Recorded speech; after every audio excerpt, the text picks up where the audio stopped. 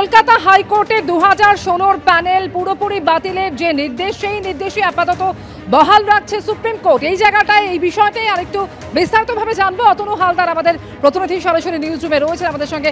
অতনু, তাহলে আজকে সুপ্রিম কোর্টের যে পর্যবেক্ষণ, সেই পর্যবেক্ষণ থেকে কি বলা যায়? যে পুরো প্যানেলে কি বাতিল, নাকি যোগ্যদের চাকরি পাওয়ার? কোথাও একটা আশা থাকছে? দেখো, এখনও পর্যন্ত সুপ্রিম কোর্ট কলকাতা হাইকোর্টের যে রায় ছিল, অর্থাৎ পুরো প্যানেল বাতিল করে দিতে হবে। এবং একই সঙ্গে অতিরিক্ত শূন্যপদ যারা তৈরি করেছে, সেই অতিরিক্ত শূন্যপদ যারা তৈরি করেছে, এই সরকারের যারা যুক্ত, তাদের বিরুদ্ধে ব্যবস্থা নিতে হবে সিবিআইকে এবং সিবিআই গোটা বিষয়টা তদন্ত করবে। এবং যারা জালিয়াতি করে চাকরি পেয়েছে, অর্থাৎ প্যানেল বহির্ভূত কিন্তু চাকরি পেয়েছে, ওএমআর সিটে বিকৃতি ঘটানো হয়েছে কিন্তু চাকরি পেয়েছে, তাদেরকে চার সপ্তাহের মধ্যে তারা যে টাকা মাইনে হিসাবে এতদিন পর্যন্ত নিয়েছেন, সেই টাকা বার্ষিক বারো শতাংশ সুদ হারে ফেরত দিতে হবে। এই যে কলকাতা হাইকোর্টের ডিভিশন বেঞ্চের রায়, এর মধ্যে শুধুমাত্র একটা অংশে যে অতিরিক্ত শূন্যপদ তৈরিতে সরকারের যারা যারা যুক্ত তাদের বিরুদ্ধে সিবিআই তদন্ত করতে পারবে, প্রয়োজনে তাদেরকে সিবিআই হেফাজতে নিয়ে জিজ্ঞাসাবাদ করতে পারবে। এই পাঠটুকু ছাড়া সুপ্রিম কোর্ট আর কোথাও কোনো স্থগিতাদেশ দেয়নি। তা এখন স্বাভাবিকভাবেই প্রশ্ন ওঠে যে যোগ্য চাকরি প্রার্থী যারা তাদের কি চাকরি ফিরে পাওয়ার আর কোনো আশা রইল? নাকি এই পুরো প্যানেলই বাতিল হয়ে গেল? দেখো, আজকে এখনও পর্যন্ত এই সুপ্রিম কোর্টে মামলার শুনানির যে গতিপ্রকৃতি তা থেকে এটা বলা যায় যে এটা পুরো নির্ভর করছে এখন এসএসসি যারা এই পরীক্ষা নিয়েছে, তারা সুপ্রিম কোর্টে গিয়ে কি ভূমিকা নেয় তার উপর। তুমি জানো যে এসএসসিকে কলকাতা হাইকোর্টও এর আগে বারবার ডেকে জিজ্ঞাসাবাদ করেছে যে কারা যোগ্য কারা অযোগ্য এদের আলাদা করে দিন। কিন্তু এসএসসি সেটা দিতে পারেনি। এসএসসি পরে সাংবাদিক সম্মেলন করে বলেছে যে, কারা অযোগ্য তাদের তালিকা আমরা দিয়েছি। হাইকোর্টকে কিন্তু তখন তাদের জিজ্ঞাসা করা হয়েছে যে, কারা যোগ্য সেটা বলুন। তখন বলছে, কারা যোগ্য সেটা বলা সম্ভব নয়। অর্থাৎ নির্দিষ্টভাবে কিছু অযোগ্য প্রার্থী তাদেরকে এসএসসি চিহ্নিত করেছে, যেটা পাঁচ হাজারের একটু বেশি এই সংখ্যাটা। কিন্তু আজকে আবার যদি তুমি দেখো, সুপ্রিম কোর্টে যেটা বলা হচ্ছে যে সিবিআইয়ের তরফ থেকে জানানো হয়েছে প্রায় আট হাজার অযোগ্য।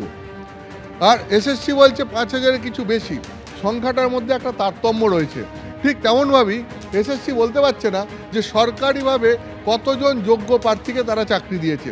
কোর্ট এটা এসএসসির কাছে জানতে চায় এবং কোর্টের সেই জায়গায় আজকে সুপ্রিম কোর্টের প্রধান বিচারপতির প্রশ্ন যে এটা কীভাবে জানা সম্ভব? যেখানে ওএমআর সিট নষ্ট করে ফেলা হয়েছে, তার কোনো মিরর ইমেজ রাখা হয়নি। তাহলে এটা কীভাবে জানা সম্ভব? এটা কীভাবে চিহ্নিত করা সম্ভব? যে কোন ওএমআরগুলো আসল কোনগুলো নকল? এতে এসএসসি একটা যুক্তি দিয়েছে যে যে যে সমস্ত ওয়েমার সিটগুলো উদ্ধার করা সম্ভব হয়েছে সিবিআইয়ের দ্বারা, অর্থাৎ সিবিআই যে হার্ড ডিস্ক উদ্ধার করেছে, তার থেকে যে ওয়েমার সিট উদ্ধার করেছে, সেখান থেকে এটা করা যায় কিনা? এখন এইটা আদালতের কাছে গ্রহণযোগ্য করে এসএসসিকে প্রমাণ করতে হবে যে এসএসসি যাদের যোগ্য বলছে তারা যোগ্য, যাদের অযোগ্য বলছে তাদের তারা অযোগ্য। এসএসসি কিন্তু এর আগে বারবার এই প্রসঙ্গে দায়িত্ব নিতে চায়নি, কারণ দুর্নীতির গভীরতা এবং দুর্নীতি এত বেশিটা হয়ে- এত বেশি হয়েছে। ফলে এখন এটাই দেখার যে এখন এসএসসি এই দায়িত্বটা নেয় কিনা। যে কারা যোগ্য, কারা অযোগ্য, তাদেরকে এসএসসি আলাদা করে নিয়ে গিয়ে সুপ্রিম কোর্টের কাছে বলে কিনা। যদি এটা সুপ্রিম কোর্টের কাছে এসএসসি প্রতিষ্ঠিত করতে পারে, তাহলে পরে মামলার রায় একরকম হতে পারে। যদি না করতে পারে, তাহলে আর রকম হতে পারে। কারণ আজকে সুপ্রিম কোর্ট বলেছে যে, এত লোকের চাকরি যেখানে গেছে, বিষয়টা অবশ্যই গুরুত্বপূর্ণ। কিন্তু এরকম উদাহরণও আছে যে, যেখানে যোগ্য, অযোগ্য আলাদা করা যায়নি, সেখানে পুরো প্যানেল বাতিল করে দেওয়া হয়েছে। আবার এরকম উদাহরণও আছে, যেখানে যোগ্য, অযোগ্য আলাদা করা গেছে, সেখানে যোগ্যদের চাকরি থেকেছে, অযোগ্যদের গেছে। ফলে এসএসসি যোগ্য এবং অযোগ্যদের যে আলাদা করে সুপ্রিম কোর্টে দিতে পারে কিনা যেটা তারা এতদিন পারেনি, তার ওপর এই মামলার রায় নির্ভর করছে, যোগ্যদের ভবিষ্যৎ নির্ভর করছে। এটা হচ্ছে এক।